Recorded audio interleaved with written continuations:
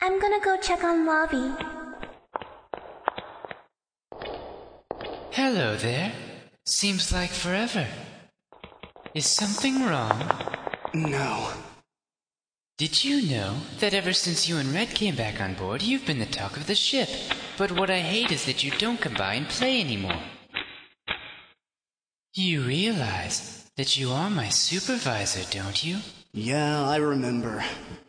So now that your little vacation is over, what do you say we get back to work? Look at this. This van ship looks just like yours. You'd have to agree with me, right? You got this from Norkia, didn't you? Huh?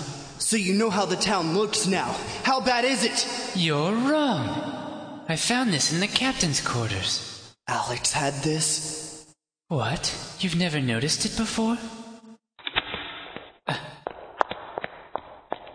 He's no fun. That picture was supposed to be a topic of conversation.